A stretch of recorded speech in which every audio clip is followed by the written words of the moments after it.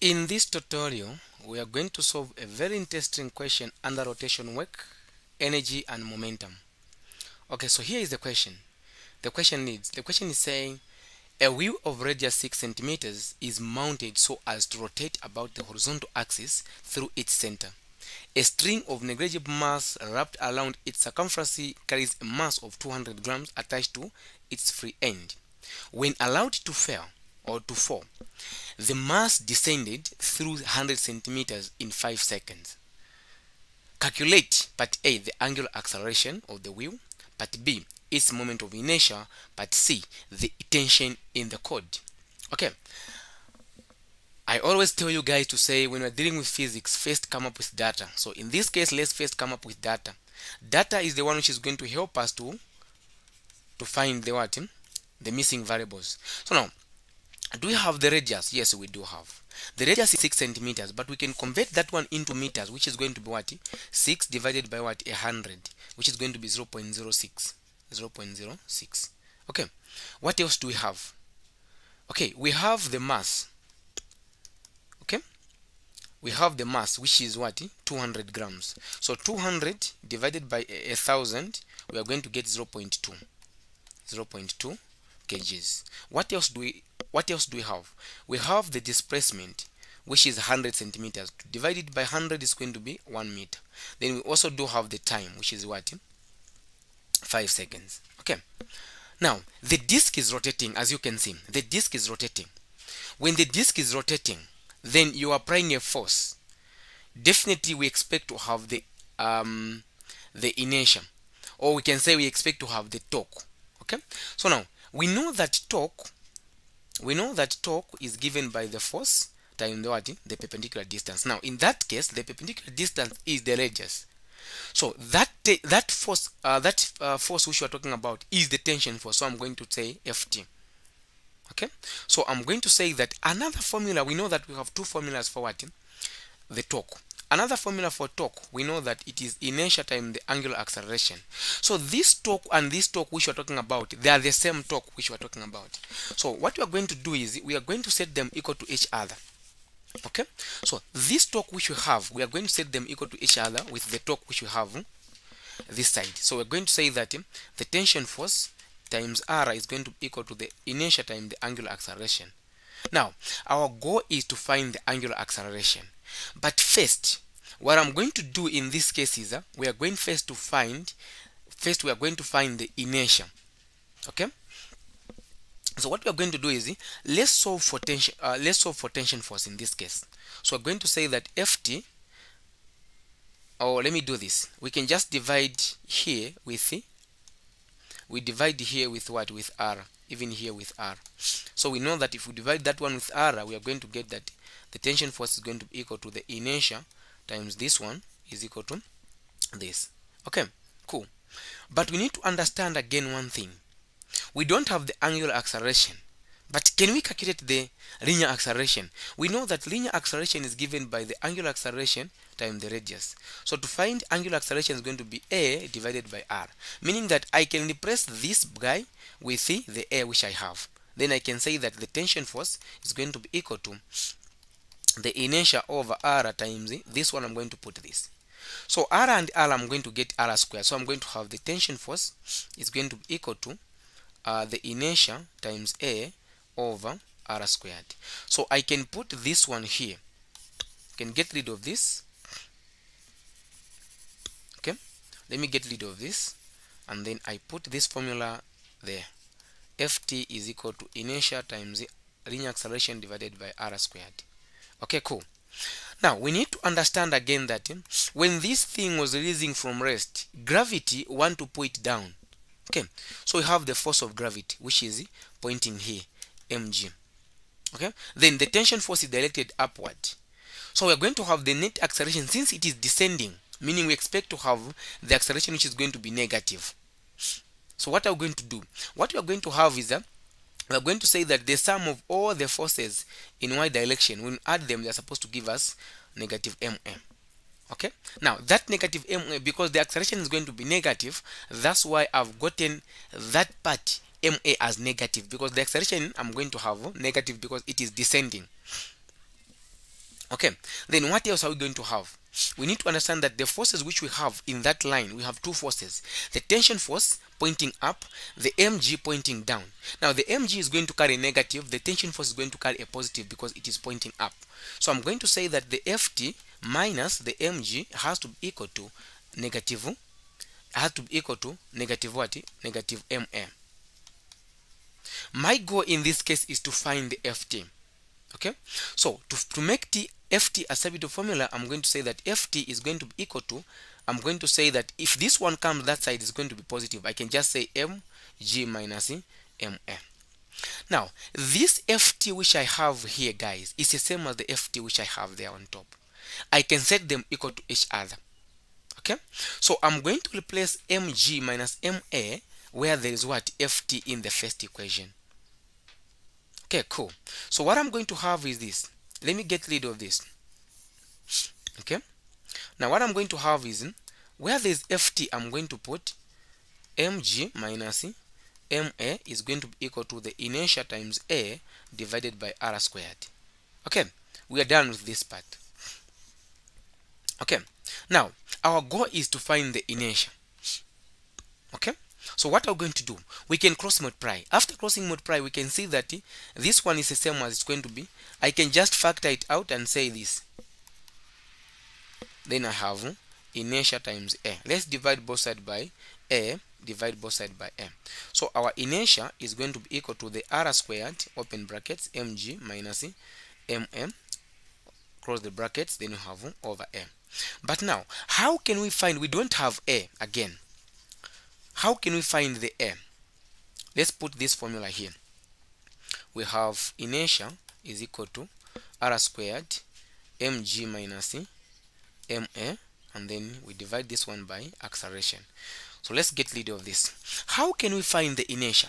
Sorry the angular the linear acceleration this a we know that this thing we have been told that it was released from rest meaning that what is going to happen there is that eh, if it was released from rest what is going to happen is that it's going to cover a certain distance then it reaches there. So it covered a distance of one meter. It was this from rest meaning the initial velocity is zero. So which formula can we use for us to find the uh, the acceleration? We know that this formula can work. We have d is equal to v initial times t plus half at squared. We have the time but we don't have the initial velocity. Initial velocity is zero. So we can cancel this. So we're going to have d is equal to half at squared. Our goal is to find the value of a. What are we going to do? Let's do times 2 everywhere in this equation. Or before we do that we can just plug in the values. So what what is our displacement? It is half or it is 1 that is the uh, the distance is equal to this one is going to be half then you, the, the time is 5 now squared times a. Okay so what are we going to have? We're going to have 5 squared then we divide this one by 2 which is 12.5 so we have 1 is equal to 12.5 times a. Let's divide both sides by 12.5 even here by 12.5 so we're going to have the acceleration is going to be equal to 1 over 12.5 so what is 1 okay. What is 1 over 12.5 okay so the acceleration I'm getting is uh, 0.08 okay so this is going to be meters per second squared. Okay cool. That is the acceleration which we we have gotten. Okay so we are saying that the time which we have been given is 5 seconds and then we have the displacement which is 1 as you can see I've put 1 there. Then the 5 5 squared is 25 then 25 divide 2 which is going to give us 12.5 so that is the acceleration we have. Okay. So now if we have acceleration already here before we even go anywhere we know that if we have acceleration then we can calculate the what? The angular acceleration. Because we know that linear acceleration is angular acceleration times r. So angular acceleration is going to be a over r. So it's going to be this. Then acceleration we have found that is 0.08 then the radius. What is our radius? Okay. Our radius is 0.06 so what is 0.08 divided by 0.06 it is 1.33 so our angular acceleration is 1.33 rad per second squared. That is the answer for part A. So you can first start finding the angular acceleration or the linear acceleration and then find the angular acceleration. Now this linear acceleration which we have here 0.08 is the one which is going to help us to find the what the inertia. Okay. So that is the formula which we have. We no longer need this data here. I can get rid of this. Okay. So now what we have here guys is we have the inertia is equal to we want to plug in the values now. What is the radius? The radius is 0.06 we square it open brackets. What is the mass? Okay. The mass is 0. Point what? Um we have said that is 200 so 200 divided by 1000 is 0.2 so we have 0.2 times 9.8 minus 0.2 times the acceleration we have found that is 0.08 0.08 then we divide this one by the linear acceleration. Okay yes the linear acceleration which is also what? 0.08 so what i'm going to do is 0.06 squared. Then i'm going to open the brackets. Or we can do what is inside 0.2 times 9.8 then minus open brackets we have 0.2 uh, times 0.08 okay so on top there I'm getting inside only. So that one times 0.06 squared. So on top only I'm getting um, 0.006 uh, 9 I'm getting 6 9 then 9 again 8 4 don't round off before the final answer. Then this one divide 0 0.08 okay so 0 0.08 so the moment of inertia which I'm getting here is uh, is uh, 0. 0.0 0 0.087 48 okay. So that is the moment of inertia. Now you can now round it off to maybe three significant figures if you want. So you can say that eh, the moment of inertia is going to be equal to 0.087 just like this. Now what are the units for moment of inertia? Remember we are saying that inertia inertia is given by mass times the radius. Mass is kgs. Radius is what? Or it is squared. So radius is meters but now it's supposed to be meter squared. So these are the units for what moment of inertia. Okay so our answer is this one which is going to be in kgs meter squared. So that is the moment of inertia. Now part c which is part 2 we want to find the tension of the cord remember we found the tension the formula for tension which is here. That's why i didn't even uh, remove this one because I need to say we're going to, to use it. So that formula is the one which is going to help us now to find the tension. Okay, so that formula which is uh, is uh, the tension force is equal to the inertia times acceleration is equal to r squared. So the tension force is going to be equal to the inertia is 0.087 times the acceleration we found as 0.08 then we divide this one by the radius which is 0.06 now we square it. So we have 0.087 times 0.08 okay 0.08 then the answer we divide it 0.06 we square it. So I'm getting my tension force as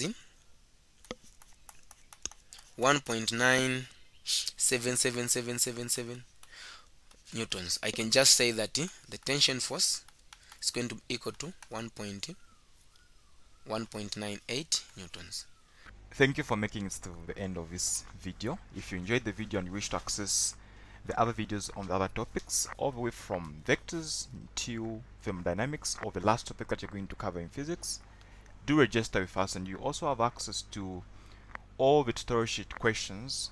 You have solutions to them. They're all covered in video form and also past paper revisions that are about to start upon the completion of the last topic that you're going to cover in your physics course, be it 1015 or 1010. And you have access to all these at only 100 kwacha until you write your exam. Of course, not forgetting that upon registration you are allowed to text your questions to the tutors and of course you have access to the solutions which allows you to prepare even more adequately for your exams